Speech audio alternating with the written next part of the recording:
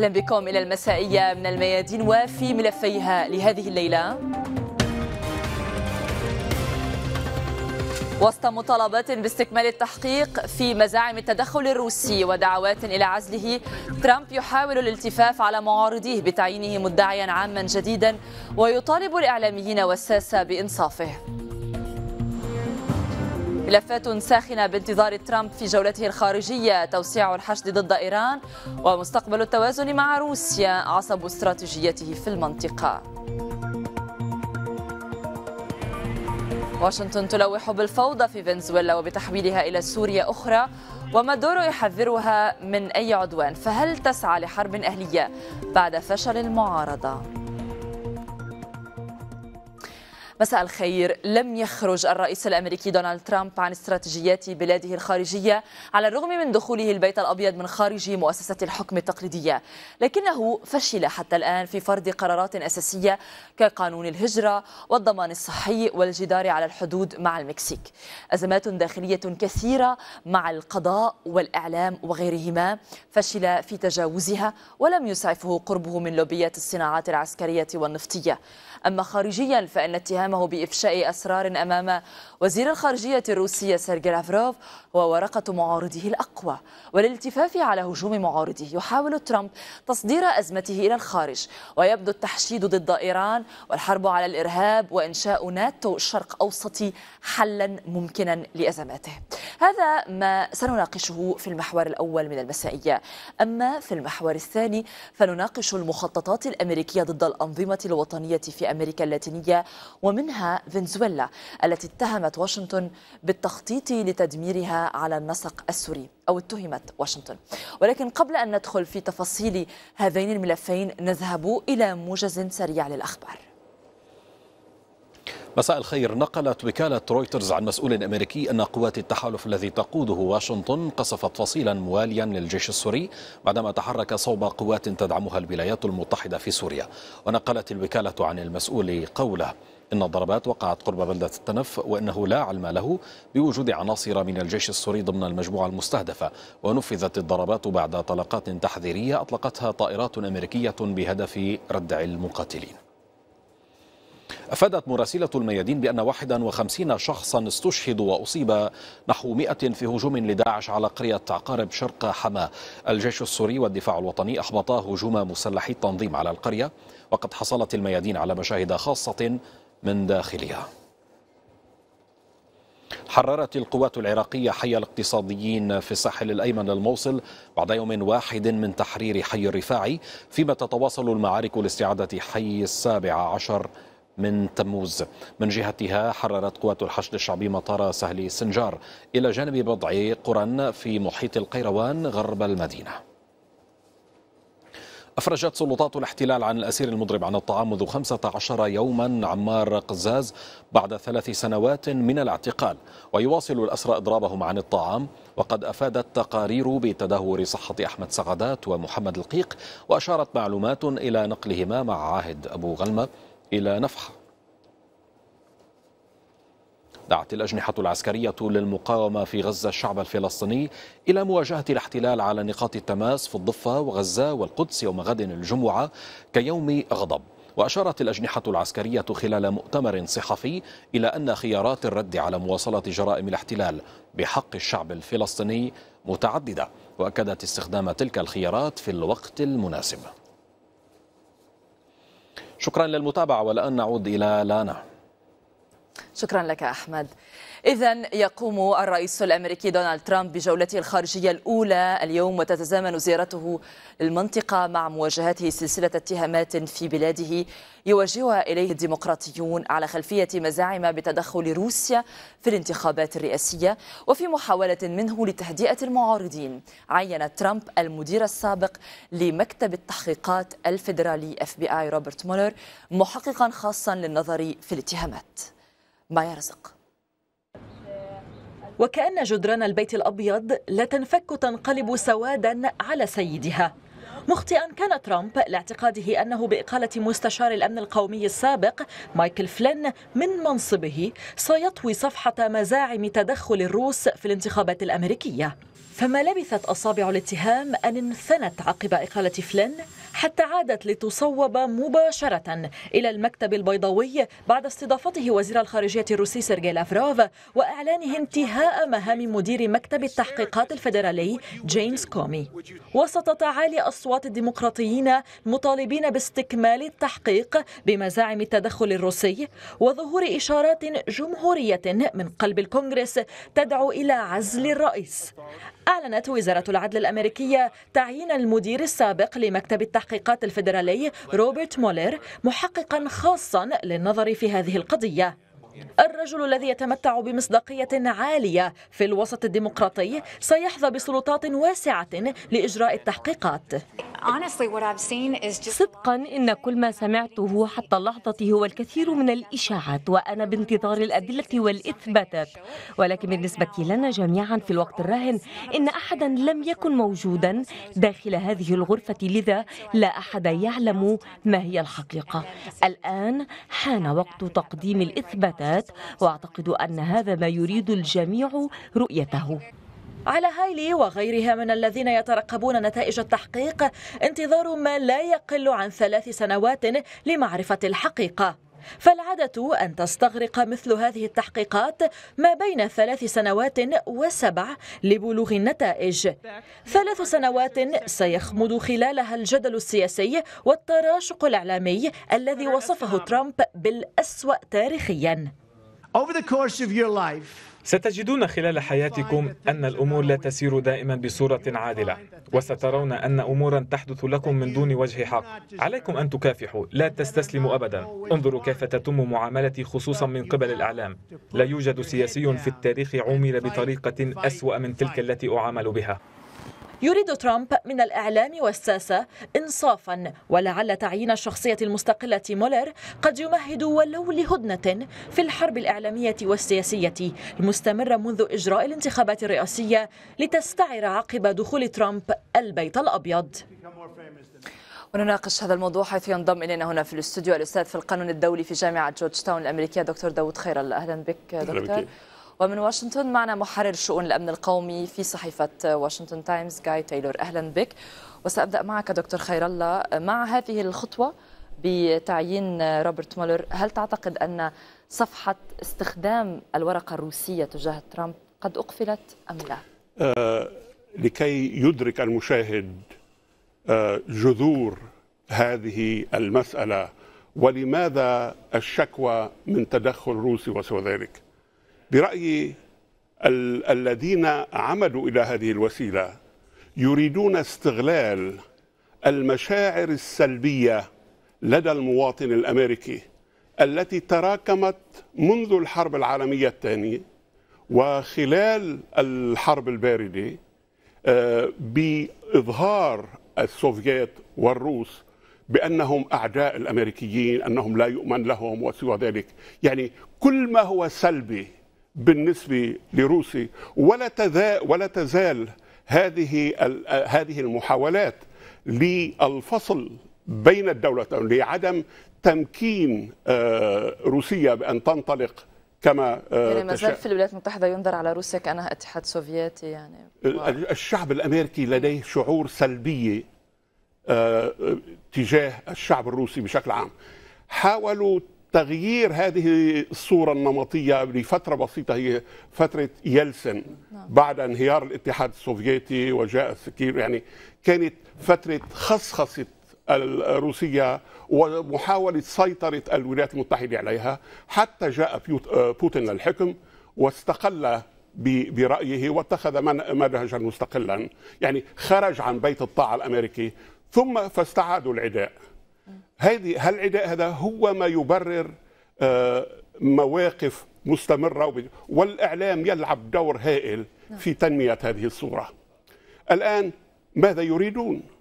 يعني الذين يدعون ذلك يريدون أن يثبتوا بالرغم من أنه طالما أن الشعب الأمريكي غير مستعد لقبول نصائح روسية في أحد استطلاعات الرأي سئل سالوا مواطنين سئل أحد المواطنين الأمريكيين هل تعتقد أن روسيا أثرت في نتيجة الانتخابات؟ هذه بعد الانتخابات فورا.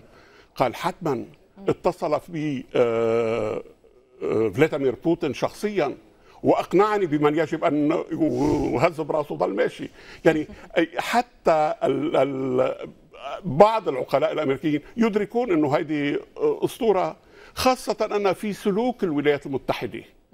لو آه، طبقنا نفس المعايير التي تطبق في الولايات المتحدة على لبنان وتدخل الطرف الأمريكي في الحياة آه، السياسية الداخلية لدخل نص مسؤولين للسجن يمكن وترك وظيفة. المهم في في معايير بالفعل تدعو إلى إلى التردد للارتباك للتساؤل. فالهدف من هالقصة الاتكال على المشاعر الشعبية السلبية المتجذرة نعم. لخلق صورة تقول إنه ترامب آه، قام بما هو مخالف للقانون نعم. وما يبرر على الأقل إرباكه وربما جره إلى آه، دكتور خير الله تعلم نحن يعني ناقشنا هذا الموضوع أكثر من مرة في المساء ولكن أشكرك على الإيضاحة يعني بطريقة مختلفة في الواقع آه، لم نعهدها آه، قبلا من ضيوفنا وهذا أيضا ما سيدفعني للسؤال لك سيد تايلور.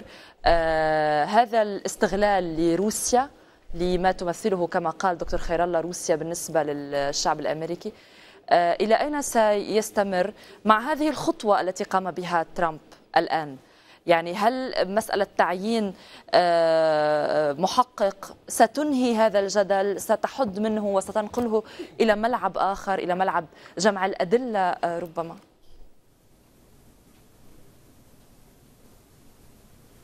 I think it's going to depend on what the special Uh, أعتقد أن ذلك سيعتمد على ما يركز المدعي الخاص روبرت مولر عليه في تحقيقه.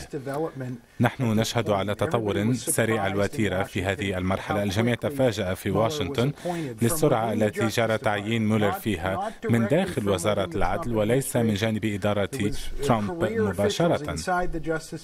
بل بعض المسؤولين في وزارة العدل هم كانوا أصحاب السلطة لتعيين مولر. بالتالي لا نعرف بعد إن كان سيركز تحقيق الاف بي اي على التدخل الروسي المزعوم في انتخابات العام 2016 من حيث الشكل أم سيركز على مدى تقارب الحديث بين مسؤولي حملة ترامب والمسؤولين الروسيين ومعرفة ربما المسؤولين في إدارة ترامب بأي تدخل محتمل روسي أم ربما يركز مولر تحقيقه على مسائل أكثر عمقا لها تداعيات كبرى في واشنطن وقد تؤدي في الواقع إلى دفع سياسي جديد يؤدي بالإطاحة بالرئيس ترامب. وبالتالي يجب أن ننتظر لنرى إن كان الرئيس بحد ذاته منذ ثلاثة أشهر قد عمد على إعاقة التحقيق الفيدرالي uh, من خلال تسريح رئيس الاف بي اي جيمس كومي أو من خلال ممارسه الضغط على جيمس كومي لوضع حد لتحقيق الاف بي اي فيما يتعلق بالتقارب المفترض بين حديث مسؤولين في اداره ترامب ومسؤولين روس زعم أنهم تدخلوا في الانتخابات. لا شك في ان هناك الكثير من الادعاءات والكثير من التساؤلات. لكن هذه التساؤلات تحوم فوق واشنطن وقد تنجلي في خلال أيام فنحن لا نزال في فترة النهار هنا. ولكن يجب أن ننتظر لنرى ما سيركز مولر عليه خلال الأشهر القليلة المقبلة. ما هو نطاق هذا التحقيق؟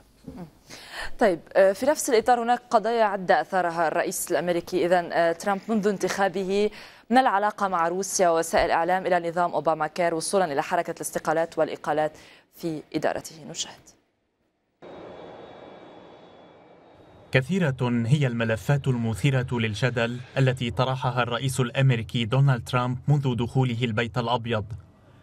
العلاقة مع روسيا وعلامات الاستفهام حول طبيعتها قد تكون أكثر إثارة للخلاف أخيرا وخصوصا فيما يتعلق منها بإفشاء ترامب معلومات بالغة السرية لوزير الخارجية الروسي سيرجي لافروف.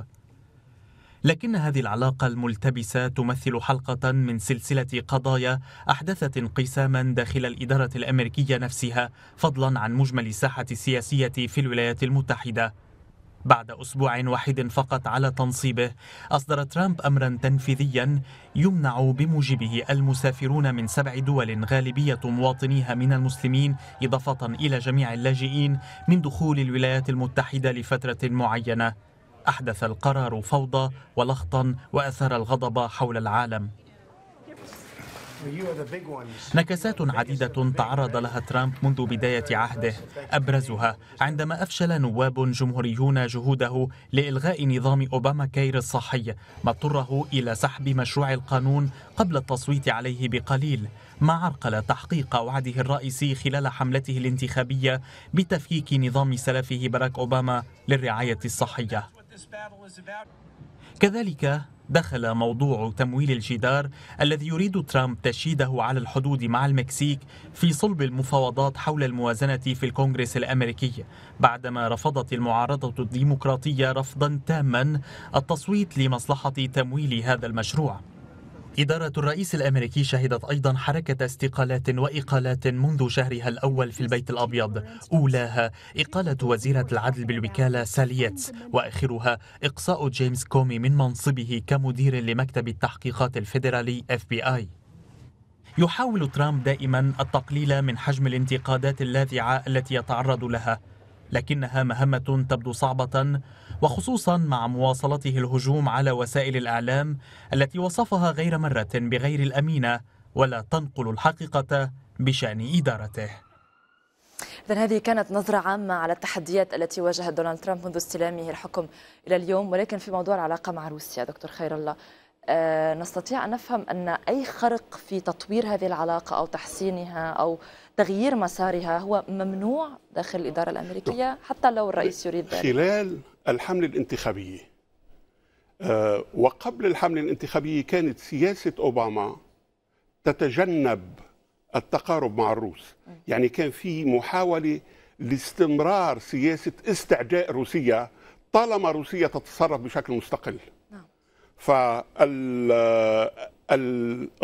الديمقراطي كانت كذلك السيدة كلينتون تستعدي روسيا بشكل شرس وبدأت اتهامات إلى حد ما واعتبار ترامب خطير عندما قال أنني أود محاربة الإرهاب بشكل جدي ولا أرى مبرر مبررا لعدم التعاون مع روسيا في سبيل ذلك. وقال كذلك أنا لا أرى مصلحة أمريكية في تغيير الأنظمة لأن في هذا التغيير مجال للفوضى ولنمو الإرهاب. من هنا بدأوا بدأت الحملة على على ترامب. عندما دخل البيت الأبيض ولم يتوقع الكثيرون أنه سيدخل البيت الأبيض ازدادت الحملة وبدأوا ينظرون إلى هذا الباب طريق لإرباكه لربما إيجاد بعض المسائل التي يمكن أن توصله إلى عزل وسوى ذلك impeachment وقصص من هالنوع. لأنه هذا هو هدف هذه الحملة. لذلك قاموا بإشياء خاصة الدور الذي قام به الإعلام. يعني الإعلام الأمريكي في الغالبية الساحقة كان ضد ترامب ولا يزال. المرة الوحيدة فضائية مثل السي إن إن مثلا وصحفي محترم مثل فريد زكريا يقول أن الآن لدينا رئيس متى؟ عندما ضرب الشعيرات يعني الموقف الديمقراطي الموقف موقف بعض فئات الدولة العميقة في الولايات المتحدة في الاستمرار باستعداء سوريا يبدو أن ذلك واضحا. بدأ بمحاولة تطويق روسيا من خلال جورجيا بالأول وبعدين عملية القرم جزيرة القرم وسوى ذلك. المهم الاستمرار في هذه السياسة يبدو أنه الشأن المرضى عنه من قبل بعض الأطراف النافذة في الحكم.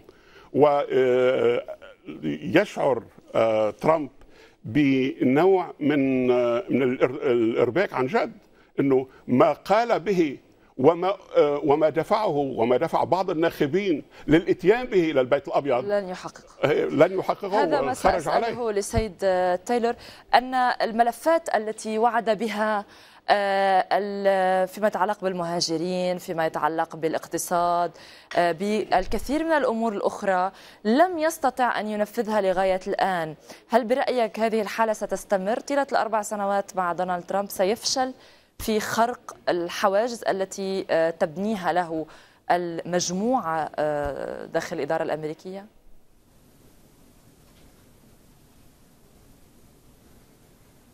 I think it's a little bit early um, in the the in أعتقد أن الوقت لا يزال مبكرا في إدارة ترامب لكي ندفن هذه الإدارة. من uh, المهم كذلك وهنا أود أن أرد على الضيف الكريم في الاستوديو. في حين أننا uh, عرفنا بالطبع عداوة حقيقية خلال حكم إدارة أوباما تجاه روسيا لا سيما على ضوء ما حصل في القرم وفرض العقوبات على روسيا uh, بعد ضم هذه الجزيرة من جانب روسيا. إدارة أوباما انتهجت بعدها مقاربة ثنائية تجاه روسيا. ووزير الخارجية السابق جون كيري اجتمع على الأرجح بوزير الخارجية الروسي لافروف بالقدر نفسه الذي اجتمع به مع أي وزير للخارجية لأي بلد. إذا ما عدنا لحسين يونيو من العام 2016 منذ سنة لا أعرف كيف غفلت وسائل الإعلام الأمريكية عن ذلك إلا أن إدارة أوباما أطلقت سياسة لمشاركة المعلومات الاستخباراتية مع روسيا حول تحركات داعش في سوريا. وهذا كان نتيجة غياب أي استراتيجية واضحة لإدارة أوباما نعم في سوريا. سيد تايلور ولكن رغم رغم ذلك آه، بقى بقي تصنيف روسيا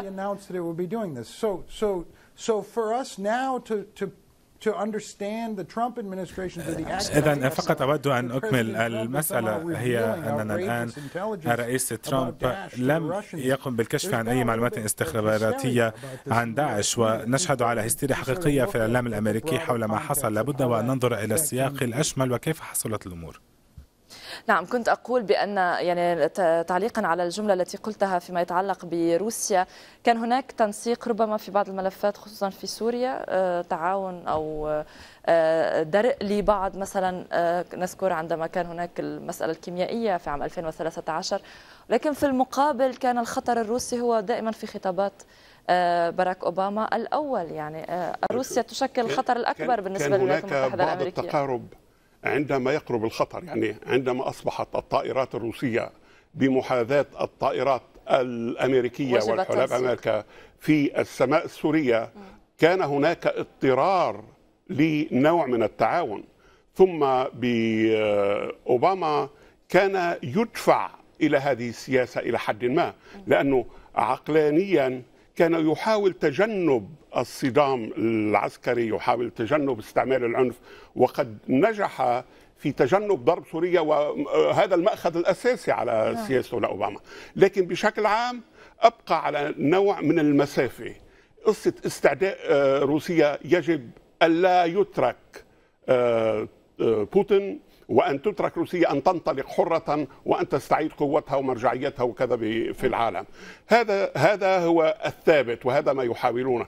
بالنسبة إلى ترامب ترامب أدرك أن هناك أخطاء وهناك تناقضات هائلة. نريد القضاء على الإرهاب لأنه يشكل تهديدا للعالم بأسره نعم. بالمطلق. ولا يمكن القضاء على الإرهاب دون التعاون مع الفئات التي تحارب الإرهاب بفعالية. من هنا قال لا يجوز ليس من مصلحة الولايات المتحدة تغيير الأنظمة. من هنا قال لا أرى مبررا لعدم التعاون مع روسيا نعم. لبلوغ ذلك. فهذا يعني من جهة آه، كل ما قال به وما حمله إلى البيت الأبيض تراجع عنه أو يبدو بحالة تراجع عنه.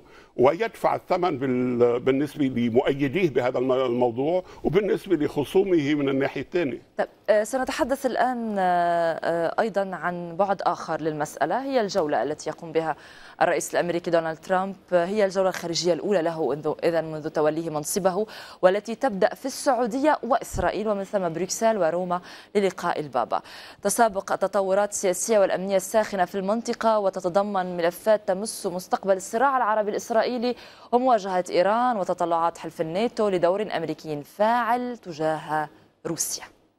حسن عبد الله خلف شعارات التسامح الديني التي بعث بها الرئيس الأمريكي دونالد ترامب قبيل جولته الخارجية الأولى تتراكم ملفات سياسية وأمنية واقتصادية ساخنة. لا بل إن بعضها يصل درجة الغليان لكونها ستمثل عصب استراتيجية الولايات المتحدة في المقبل من الأيام. في السعودية وبعد القواعد التي أرسيت في لقاء وزير الدفاع محمد بن سلمان وترامب سيكون العنوان الأبرز إنشاء تحالف قوي ضد التطرف والإرهاب وتكثيف الحرب ضد تنظيم داعش وحشد المنطقة ضد إيران بحسب ما ذكرت نيويورك تايمز. لكن الصحيفة تعلم مع غيرها من وسائل الإعلام أن إيران ومن ثم سوريا في صلب أهداف التحالف المنوي إنشاؤه. أهداف تتناغم مع استراتيجية إسرائيل التي تتسع أرضيتها المشتركة مع بعض دول الخليج. في إسرائيل سيواجه ترامب ضغطا غير مسبوق لتصعيد سلبيته تجاه الاتفاقية النووية مع إيران. إسرائيل مستعدة لدفع الثمن بالتساهل مع المطالب الخليجية بخصوص العلاقة مع الفلسطينيين ومستقبل عملية السلام على وقع تراجع عداء دول خليجية وازنة لإسرائيل.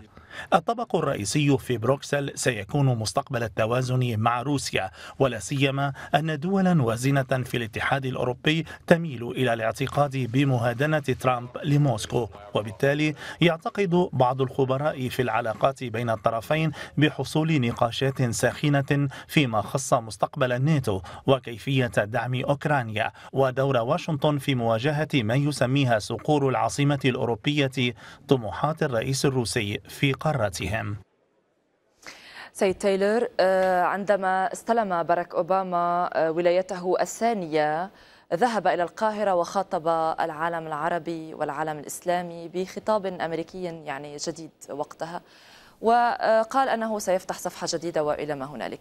الآن هذه الزيارة لدونالد ترامب برأيك ماذا يريد أن يفتح دونالد ترامب؟ هل يريد أن يفتح صفحة جديدة أم يريد أن يتابع في يعني ما رسمه أوباما أم ماذا؟ It's a really it's an interesting thing that to watch on uh, Trump's visit سيكون من المثير للاهتمام أن نتابع زيارة ترامب إلى الرياض فمن المفارقة أن الخطاب الأهم لأوباما خلال زيارته الخارجية الأولى كان في القاهرة واعتبر ذلك محاولة من جانب رئيس أمريكي لتحفيز روح الديمقراطية على مستوى الناشطين الشباب في الشرق الأوسط. ومن المفارقة ما يحدث اليوم وما سيفعله على الأرجح الرئيس ترامب في الرياض وهو الاستفادة من هذه الزيارة في محاولة لإعادة التأكيد على المكانة والموقف الأمريكيين في المنطقة قبل دورتي الرئيس أوباما في الحكم وبالتالي الرئيس ترامب اختار الرياض أولا في حركة رمزية. الهدف منها هو الابتعاد عن أي تقارب دبلوماسي بين إيران والولايات المتحدة الأمريكية والعودة إلى توطيد التحالف الأمريكي السعودي. ولذلك أعتقد أنه قد اختار الرياض أولا وذلك يرتبط كذلك برغبته في الحصول على مزيد من الاستثمارات الأجنبية من جانب السعودية. ما تحدث عنه ولي العهد خلال زيارته الخاصة إلى واشنطن منذ قرابة الشهر من الزمن. حيث تم الحديث عن استثمارات تفوق المائة مليار دولار أمريكي إلى جانب صفقات كبرى لبيع الأسلحة الأمريكية وإدارة ترامب قد وافقت عليها. بالتالي لا شك في أن هذه الحركة الأولى هي رمزية بامتياز. دكتور خير الله يعني انطلاقا من آه، ما ذكره سيد تايلر فيما يتعلق بالاستثمارات والأموال، هل تعتقد أن هذه الزيارة هي فعلا لتأكيد شراكة مع السعودية أم فقط فيها مصلحة يعني نعم. اقتصادية ومالية لترامب في هذا الوقت الرئيس ترامب هو رجل أعمال بالدرجة الأولى وهذا ما يعتبر أنه يتقنه وأنه يريد أن يطبق ذلك على إنجاح يعني بده يعمل الولايات المتحدة كلها مشروع تجاري. لكن لهكذا طموح حدود. أنا بتصوري آه، ما سوف يقوم به بالسعودية وما يدعو إليه من نوع من حلف أطلسي عربي الهدف منه استعمال السلاح الأفتك والأفعل وهو السلاح الطائفي. تجذير السلاح وإعطاء السعودية دور في قيادة آه، حملة على على إيران على وحلفاء إيران. وسوى ذلك. نعم. آه، من هنا أرى المصلحة الإسرائيلية الأبرز والأفعل في سلوك ترامب. قد يكون له مصالح آه، تجارية وقد يصل إلى هذه المصالح لأنه يمكن للحكم السعودي أن يستعد لتلبيه آه، أي حاجة يشعر بها من يعني إسرائيل مستفيدة من زيارته إلى الرياض وإلى تل أبيب؟ أنا برأيي بالدرجة الأولى المستفيد الأكبر تل أبيب نعم. لا أشعر أن للولايات المتحدة مصلحة أمنية أو اقتصادية أو سوى ذلك في أن تستمر تجذير الحرب خاصة أن الولايات المتحدة تدعي أن آه، بدها تحارب الإرهاب نعم. رايحة على دولة يعتبر المسؤولون الأمريكيون من أوباما من إدارة أوباما وقبلها وبعدها أنها منبع الإرهاب the fountain head of terrorism ويتبنون قانونا لمعاقبة السعودية لأنها رعت الإرهاب الذي أضر بالولايات المتحدة. ولكن الآن نسكت عن كل ذلك ونعتبر إنه الإرهاب شيء ثاني فارى مصلحة إسرائيلية أساسية. نعم. والتعتير الأكبر آه، غباء غيبوبة عربية هائله خاصة بين النخب العربية. هون التعتير. نعم. سيد تايلر السؤال الأخير لك. آه هو آه عن مرحلة ما بعد هذه الزيارة. طبعا يعني مبكر جدا الحديث عن ماذا سينتج عنها أو يعني ليس مبكر ربما قد يخرج تخرج مواقف توضح ما سيكون شكل المرحلة خصوصا فيما يتعلق بإيران. آه، برأيك أن المرحلة المقبلة ستكون آه، يعني فيها تصعيد أكبر ضد إيران سيستخدم فيها الكثير أيضا من آه، المال العربي السعودية ستكون أيضا رأس حربة لمواجهة إيران في المنطقة. I think we have to wait and see أعتقد أنه يجدر بنا أن ننتظر لكي نرى كيف سوف تستجيب طهران لزيارة ترامب إلى المنطقة وإلى الرياض تحديدا. فتوقيت الزيارة مثير للاهتمام حيث أن الزيارة تندرج في سياق مرحلة تغييرية داخل إيران وعدم يقين سياسي.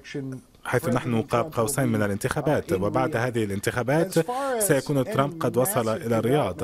أما بالنسبة إلى هذه الزيارة وإن كانت ستفضي إلى أي تبدلات جذرية يجب أن نعرف كذلك أن السعودية تحاول. أن تطلق هذا التحالف بين دول الخليج العربي والدول العربية الإقليمية وصولا إلى المشرق وحتى المغرب العربيين. منذ وقت طويل وقد تبلور ذلك مؤخرا من خلال محاولة الرياض لتعزيز دور مجلس التعاون الخليجي. ومن خلال ترأس السعودية لهذا المجلس. وقد تحدث البعض ربما عن تحالف بين حلف شمال الأطلسي وبين مجلس التعاون الخليجي وهذا يشكل صيغة مختلفة عن الدعوة السعودية التي تكررت منذ 10 15 عاما ولكن بغلاف جديد مع وصول رئيس جديد إلى السلطة في الولايات المتحدة الأمريكية. هل سيدعم ترامب أم ذلك؟ ذلك أم لا؟ يجب أن ننتظر لنرى. لقد سمعنا تردادا للأسطوانة نفسها من جانب المسؤولين الأمريكيين ولكن الأمر لم يتحقق بعد إضافة إلى أننا نتساءل عن جذور هذه الفكرة فهذه الفكرة هل انطلقت في القاهرة أم أطلقها السعوديون بداية أم هي مسألة روجت لها إدارة ترامب؟ بكل حال من الأحوال المهم هو أننا شهدنا على زيارات متتالية من جانب قادة سعوديين مختلفين منذ تولي ترامب للرئاسة وتم تعيين سفير سعودي جديد في واشنطن. وعلى مر هذه الزيارات المختلفة والقادة السعوديين قد اجتمعوا على هامش هذه الزيارات مع صحفيين مختلفين في واشنطن وتحدثوا عن حماسهم الكبير لوصول ترامب إلى السلطة فهم قد حصلوا منه على الكثير من الوعود وحصلوا على الوعود من الكثير من المسؤولين في إدارته ومن وزارة الدفاع. مفادها أننا سنشهد على عصر تحالف جديد وتبادل كبير للاستخبارات وللتنسيق العسكري وهذا سيتبلور أكثر في ظل حكم إدارة ترامب مع التركيز بشكل أساسي على تقزيم إيران أكثر وقضم أظافرها في الشرق الأوسط. شكرا لك سيد جاي تايلور المحرر في شؤون الأمن القومي في صحيفة واشنطن تايمز. كنت معنا من واشنطن. دكتور خير الله ستبقى معنا في المحور التالي. سنفتح فيه الموضوع. الفنزويلي ونبتعد عن الشأن الأمريكي لأن هناك اتهامات أمريكية بزعزعة أمن فنزويلا. بعد الفاصل مشاهدينا أبقوا معنا.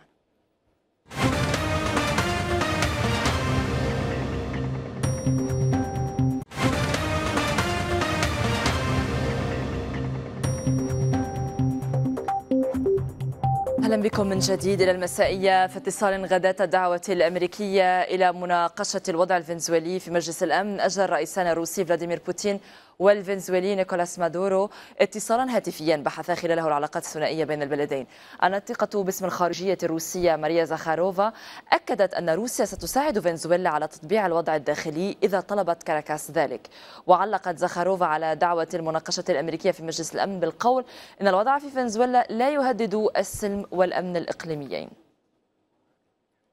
إلى ذلك اتهم وزير الدفاع الفنزويلي المعارضة بالسعي إلى تحويل فنزويلا إلى سوريا أخرى وولاية تشيرا إلى حل إلى حلب جديدة.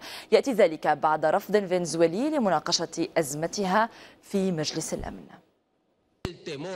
المعارضة الفنزويلية تحول ولاية تشير إلى حلب أخرى. هو اتهام وجهه وزير الدفاع الفنزويلي لها. يؤكد فلاديمير لوبيز سعي المعارضة بدعم خارجي لتحويل فنزويلا إلى سوريا.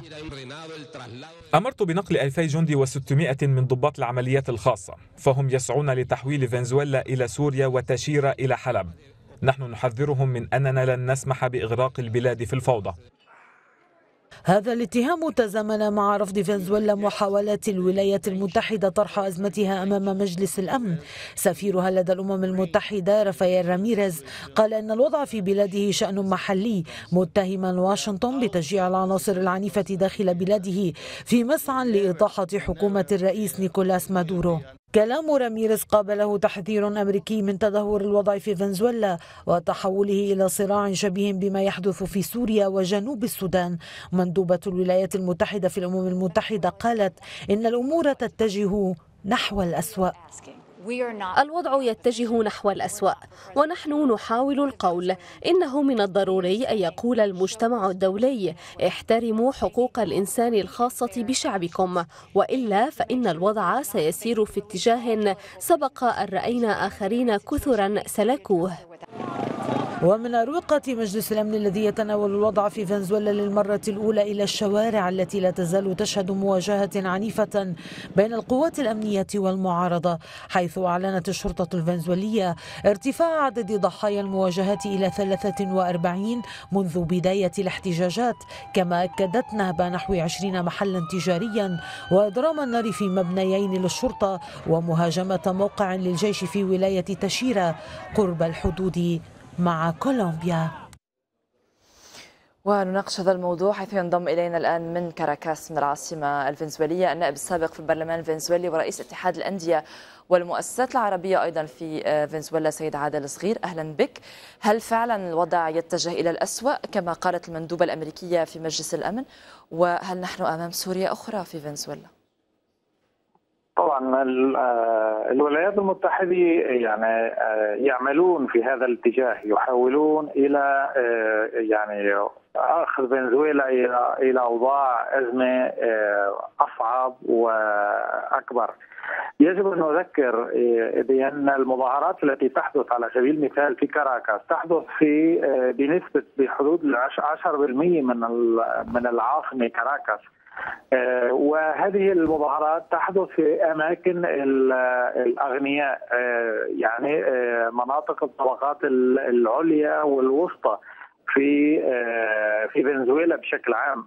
لا تحدث هذه المظاهرات على سبيل المثال في المناطق الشعبية يعني المناطق الشعبية التي تمثل غالبية الشعب الفنزويلي يعني آه، يرفضون هذه التحركات والأعمال الإرهابية التي تحدث في المناطق آه، الأغنياء. إذا تأتون في بكاميرا إلى كاراكا سترون بأن التكسير والشغب والحرق وكل الأمور هي تحدث في أماكن فقط في أماكن الأغنياء في فنزويلا. لا شك أن الولايات المتحدة آه، تحاول أن آه، عن طريق وكالات الإعلام أن ترسم صورة خاطئة بما يحدث آه، في في فنزويلا.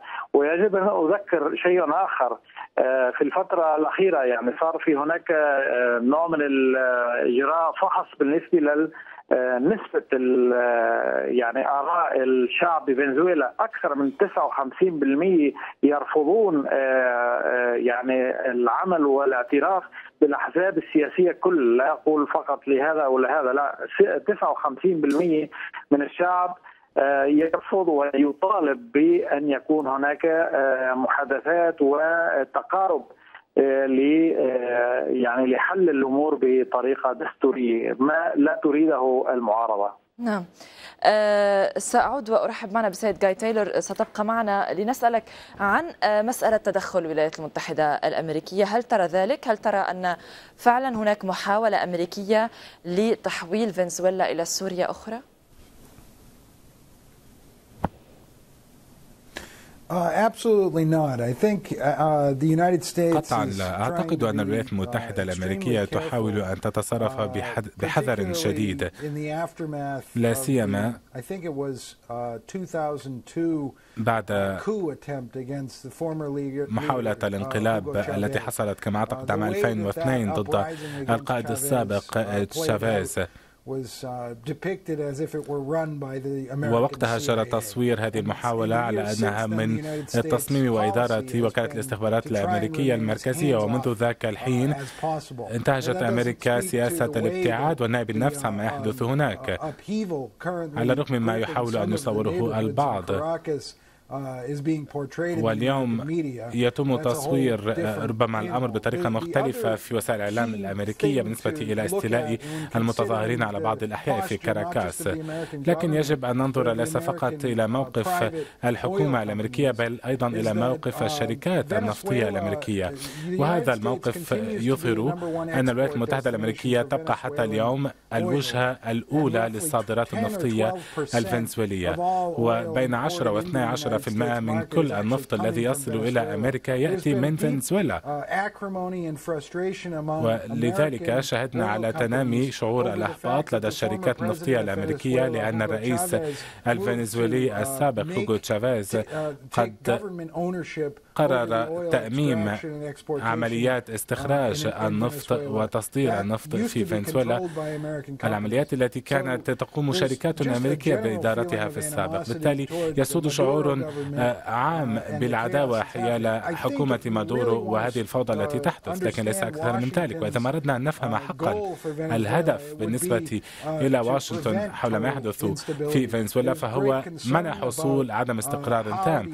فهناك الكثير من الانشغالات بالنسبة إلى قدرة منظمة الدول الأمريكية على وضع حد للنقص الغذائي في البلد وإطلاق قافلة الحوار السياسي. أمريكا مثلا لا تريد أن تظهر وأنها تتلاعب بالوضع.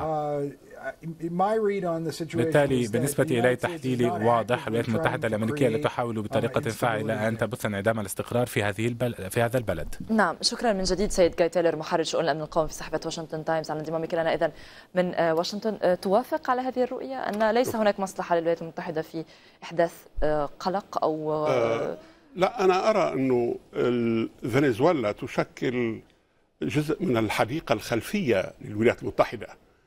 لولا إسرائيل في هذه المنطقة لكان تعامل الولايات المتحدة في الشرق الأوسط بعامة ومع العالم العربي بشكل خاص مختلف كليا لأن لا مصالح لها جوهرية هنا. هناك بالولايات المتحدة في مصالح اقتصادية ثم أن تخلق فنزويلا آه، وضعا في القارة الأمريكية الجنوبية نوع من الاستقلال عن الإرادة الأمريكية. نوع من الخروج من بيت من بيت الطاعة الأمريكي. هذا يشكل سابقة خطرة للولايات المتحدة. هلا هل باستطاعة الولايات المتحدة أن توقظ هويات فرعية كما تفعل هنا بحيث يقتتل الشعب الفنزويلي؟ هناك مشاكل داخلية لا شك بذلك. يعني هناك فساد بشكل متفشي وبالفعل مؤثر وهو المانع من تطوير بعض المؤسسات والخروج.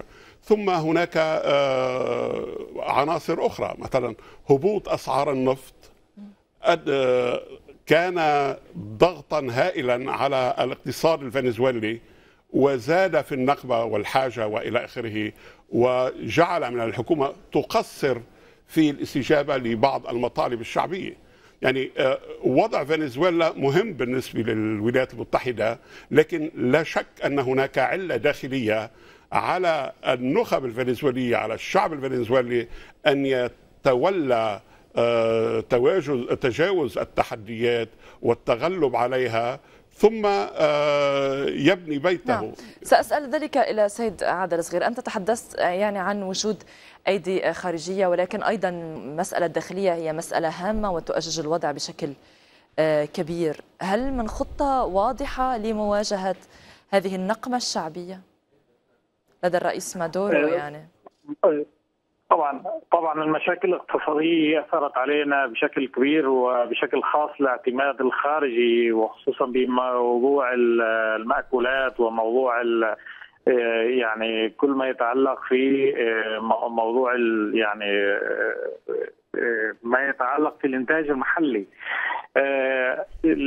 الخطوات التي يعني تقدمها والاقتراحات اللي يقدمها تقدمها الحكومة مادورو حقيقة نحن عندنا يعني وجهه راي بالنسبة للموضوع بأنها لا تتوافق وحقيقة الأوضاع في في فنزويلا. وهناك اتصالات آه، لتغيير هذا آه، هذه السياسة. وهناك اقتراحات قدمت آه، نتوقع في الأيام المقبلة يعني تؤخذ بعين الاعتبار من أجل وضع حل لموضوع الاعتماد على الذات داخل داخل فنزويلا. آه، لا شك انه الولايات المتحدة في الوقت الحالي آه، ستحاول ان تلعب بكل أوراقها في فنزويلا وخصوصا آه، يعني هناك شكوك بأنها أدخلت خلايا يعني هناك عندنا نسبة كبيرة من الحرس الوطني الجيش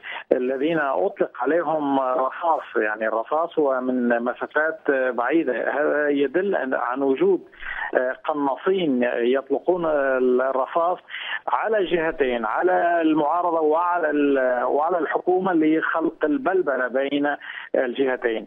آه، هاي عمليا نفس الطريقة اللي استعملت في في أوكرانيا واعترفوا فيها حتى يعني قياديين الأوروبيين حول الموضوع واعتبروها كان غلط كبير آه، لأنه آه، رأينا ما حدث بأوكرانيا بعد ذلك.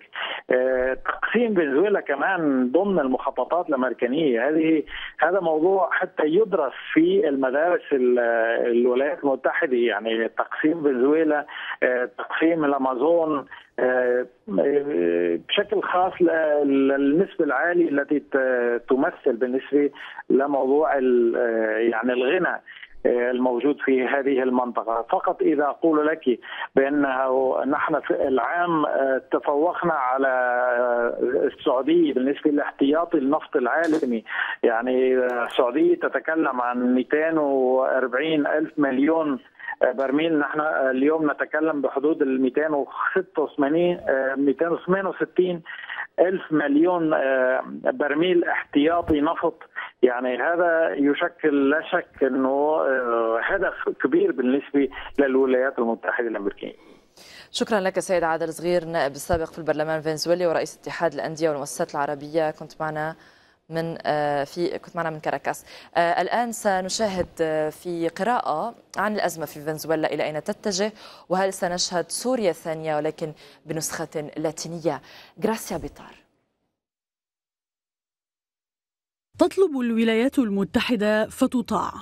يكفي أن يعتلي مندوبوها المنابر ليذكروا بأن بلادهم هي المدافع الأول عن حقوق الإنسان في العالم حيثما تشاء طبعا حتى يلبي مجلس الأمن ويلتئم سريعا. احترموا حقوق الإنسان وإلا. معادلة الوإلا هذه هي في صلب السياسة الأمريكية من سوريا ودول المنطقة إلى العاصمة الفنزويلية كاراكاس. والدليل أن المندوبة الأمريكية لم تتنكر لذلك بل قالته من دون مواربة في معرض تحذيرها مما سمته تداعيات عدم الاستقرار الخطير في فنزويلا وتحوله لوضع مماثل لما يحصل في سوريا وجنوب السودان وكوريا الشمالية وبوروندي وبورما. فهل نترقب المسلسل الأمريكي نفسه الذي نشهده في سوريا أيضا في فنزويلا؟ ولكن بنسخة لاتينية هذه المرة نسخة تستخدم فيها كل الأدوات من معارضة ومافيات واقتصاد ونفط. قد يبدو سؤال العارف لأن محاولات أمريكا الحثيثة لاستعادة حدائقها الخلفية أو ما تعتبرها كذلك ليست وليدة اليوم بل ما بات يميزها هو مثابرتها بالمعنى السلبي للكلمة. من جهتها تحاول فنزويلا أن تقفل باب رياح التدخل الخارجي. نيكولاس مادورو وبعد مرور خمسة أسابيع على اندلاع التظاهرات يمدد حالة الطوارئ في البلاد للمرة السابعة. وأما على كتف كولومبيا جارة فنزويلا وحليفة واشنطن فيأمر بنشر 2600 جندي في ولاية تاتشيرا الواقعة غرب البلاد. أمريكا ماضية في مشروعها وأما لسان حال مادورو فيتلخص بعبارته الشهيرة التي وجهها منذ أشهر لدونالد ترامب حين حذره من أن كاراكاس سترد بحزم على أي عدوان أمريكي ولكن هل يملك ما يكفيه من أوراق؟ في يد خليفة هوغو تشافيز دعم الطبقتين الفقيرة والمتوسطة من الشعب وربما الأهم دعم الجيش الواضح له وأما المقارنة بين النسختين السورية والفنزويلية فلا تجوز اقليميا إذا جاز الوصف. فالمحيط الإقليمي لفنزويلا صديق بمعظمه لكاراكاس على عكس دمشق. وها هو مثلا سفير بوليفيا لدى الأمم المتحدة ينضم إلى نظيره الفنزويلي ليؤكد أن اجتماع مجلس الأمن من شأنه أن يمثل عقبة بدلا من أن يساعد على حل الازمه دكتور خير سؤال أخير وسريع هل سيصمد الرئيس مادورو أمام هذه الأزمة برأيك؟ أه لست أدري ما, ما أنا متأكد منه أن ما تقوم به الولايات المتحدة في فنزويلا وفي سوريا وفي بعض الدول العربية هو تحد بالدرجة الأولى لهذه الشعوب تحد لمدى وعيها الوطني لمدى نضجها السياسي وحرصها على أن تقوم بما يلزم للدفاع عن نفسها وشعبها وأوطانها وسيادتها. أه تحاول الولايات المتحدة أن تتابع ما تعتبره مصلحة لها. لكن هناك مصلحة بالمقابل، بعدين المقارنة بين فنزويلا وسوريا. كانت هناك ولا تزال حرب عالمية على سوريا. لن تتوفر ولا تتوفر في فنزويلا. نعم. ليست الولايات المتحدة وحدها الذي تحركت. نعم. يعني فنزويلا ما عندها تركيا وسعودية وقطر وكل شكرا دكتور داود خير الله أستاذ القانون الدولي في جامعة جورج تاون على انضمامك لنا هنا في الاستوديو. والآن مشاهدينا نعيد تذكير بعناوين المسائية وسط مطالبات باستكمال التحقيق في مزاعم التدخل الروسي ودعوات إلى عزله ترامب يحاول الالتفاف على معارضيه بتعيينه مدعيا عاما جديدا ويطالب الإعلاميين والساسة بإنصافه. ملفات ساخنة بانتظار ترامب في جولته الخارجية توسيع الحشد ضد إيران ومستقبل التوازن مع روسيا عصب استراتيجيته في المنطقة. واشنطن تلوح بالفوضى في فنزويلا وبتحويلها إلى سوريا أخرى ومادورو يحذرها من أي عدوان. فهل تسعى لحرب أهلية بعد فشل المعارضة؟ للمزيد من الأخبار والتقارير يمكنكم زيارة موقع الميادين على الإنترنت الميادين دوت نت والموقع بالإسبانية اسبانول دوت الميادين دوت نت وصفحات الميادين على مواقع التواصل الاجتماعي. إلى هنا تنتهي المسائية. شكرا للمتابعة وإلى اللقاء.